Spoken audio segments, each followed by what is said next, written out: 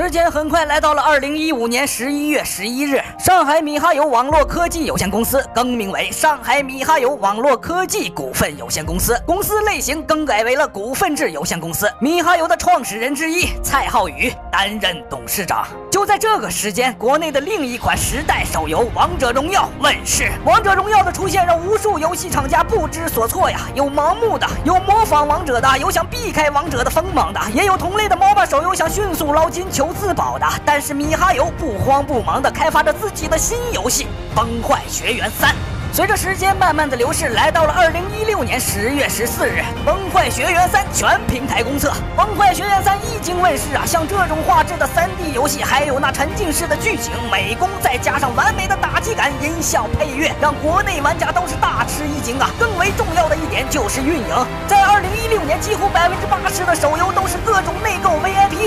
新的玩法。《崩坏三》如此高质量的游戏，下载免费，游戏内无任何的强制购买，即便你不把它当。当成个手游来玩，你也可以不花一分钱体验到一个单机大作的全部内容。在我们现在来看《崩坏学园三》，米哈游更注重的是给予游戏内角色更加人性化的设定，给予每个角色生命、性格，再带上剧情的代入，让玩家们喜欢上这个角色，再去花钱购买这个角色。当你有欲望去拥有这个角色，这个运营模式远比那些 VIP 内购让玩家们更容易接受啊！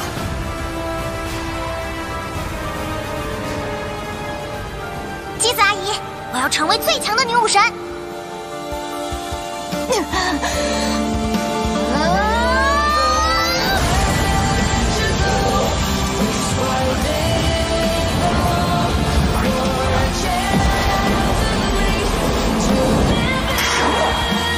皮安娜，抬起头，继续前进吧，去把这个不完美的故事变成你所期望的样子。